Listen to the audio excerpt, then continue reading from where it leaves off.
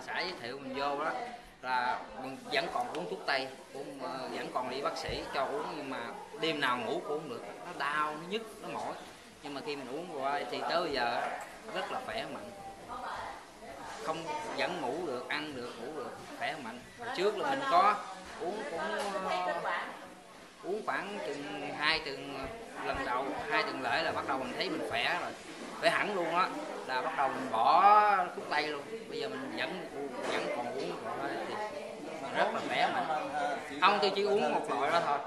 Chân em giờ đi rất là khỏe mạnh luôn. Không hôm trước em bị uh, bị lây cái cái cái xương cái cái cái đầu gối em á là coi như là cái xương nó chạy ra vậy.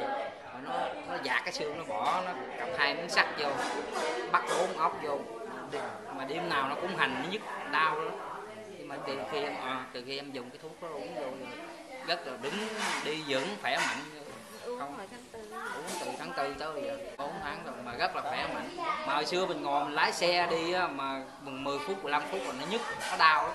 Bây giờ mình lái từ đây xuống nọt corona sau corona đỉnh bần, không có gì. Nó rất là tốt. Bây giờ mình vẫn còn dùng. Chỉ uống có một loại đó thôi đó.